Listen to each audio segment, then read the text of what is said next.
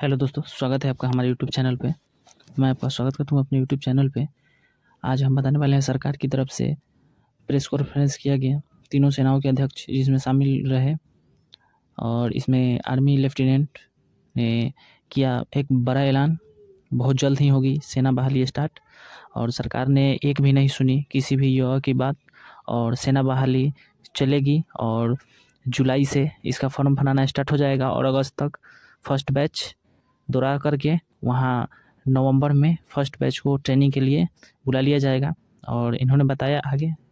देखिए, press conference में इन्होंने क्या क्या बताया जेंटलमैन आर्मी का जो ये अग्निवीर का जो रिक्रूटमेंट प्रोसेस है, ये हम ऑलरेडी वेबसाइट पे लगा चुके हैं terms and conditions and eligibility criteria कल हम इसका जो ड्राफ्ट नोटिफिकेशन भी लगा देंगे।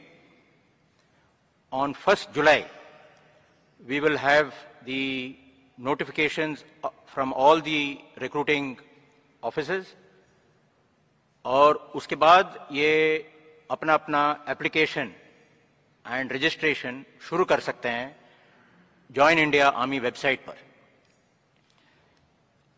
पहला जो रैलीज है हमारा, ये फ़र्स्ट हाफ़ ऑफ़ अगस्त में शुरू हो जाएँगे। हमारा सिस्टम ऑफ़ रिक्रूटमेंट थोड़ा सा फ़र्क है।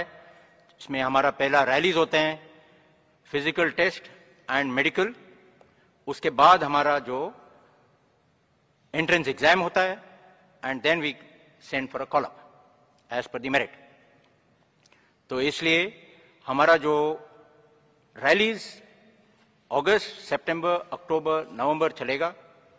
ये दो बैचेस में हमारा इंडक्शन होंगे। इनटू द ट्रेनिंग सेंटर्स पहला जो लॉट है जो ज्यादातर तकरीबन पच्चीस हजार का आसपास है वो आएंगे बाय दिसंबर फर्स्ट वीक और December second week the next lot will come in the first half of February 23.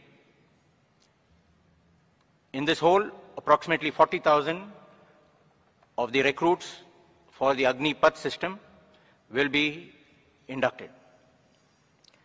ये जो रैलीज है हमारा तकरीबन 83 रैलीज होना है all across the country. All states are going to be covered and we will endeavor to touch every last village in the country. Thank you.